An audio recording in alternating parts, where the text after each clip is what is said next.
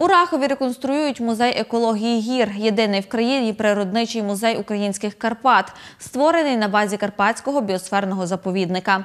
Тут, зокрема, замінюють покрівлю, вікна. Окрім того, оновлюють фасад, проводять ремонти внутрішніх приміщень. Ще один важливий елемент осучаснення експозиції закладу. Усі роботи виконують відповідно до європейських стандартів із застосуванням екологічних матеріалів та відповідно до вимог енергозбереження. Аби провести такі будівельні роботи, керівництво музею у співпраці з іноземним проєктом підтримка природно-заповідних територій в Україні вдалося залучити грантові кошти Франкурського зоосферного заповідника.